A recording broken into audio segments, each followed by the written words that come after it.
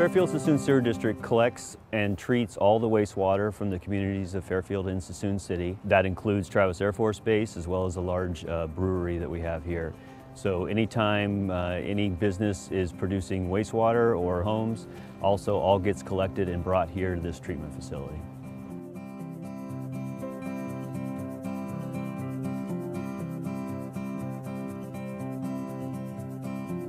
As the Assistant General Manager, I oversee all the day-to-day operations and maintenance of the facility, uh, as well as all the information technology. We had reliability issues with our systems, um, both from the actual physical technology as well as from the um, uh, consultants that we had. We would have servers fail for no apparent reason.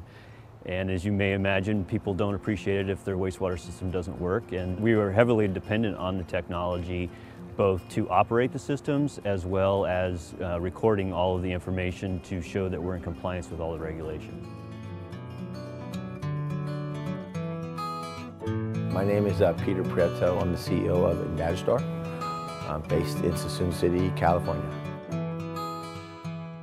The, the challenge with most managed service IT companies, at least legacy managed service IT companies, is they kind of have a, we call it break fix mode. When something breaks, they fix it. After a couple server failures, after a couple uh, long nights, we figured that we had to really look at some of the legacy hardware, legacy servers. And after kind of going through both environments that they had, we made a decision that we were going to basically upgrade everything with NEC hardware, primarily because of the reliability. We are heavily regulated by both state and federal agencies. Um, and all of those permits that we have require us to record uh, data, whether that's flow data or other information. Any server downtime or things like that are always looked at a little bit as suspect. Um, so having servers that we, we know aren't going to be down is very important from a regulatory compliance standpoint. We had a specific requirement that had very specific needs. We plugged in the box, it worked, and the rest has really been history. With the NEC products, the quality and reliability is, is, is phenomenal. With this plant, it, it, can't go down. I mean, it has to remain active 24-7, uh, 365 days a year.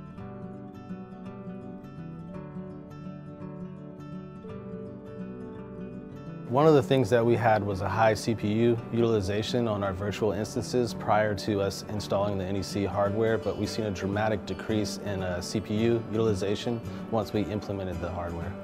The facility is, is always open, there's always operators on duty. Um, you know, so having that hardware in place, it's, um, I mean, it's been rock solid. We take more of a virtual, proactive what we call virtual CIO approach. And the whole idea is keeping that company ahead of the technology curve and in long term saving them money, saving them pain, and making sure everybody stays productive within their environment. Prior vendors that we worked with, um, some of the more common names you might hear, uh, it's, it's very impersonal feeling. With NEC, I, I know who I can call. I've got a name, I've got a cell phone number that I can call uh, if I have any problems. It's, it's like an all-inclusive total package feeling with the NEC products. And to me, that's probably the most critical part of the business. I mean, there's no magic to what we do. We don't make the product, uh, but we have to support it and we have to trust it and our customers have to want to buy it from us.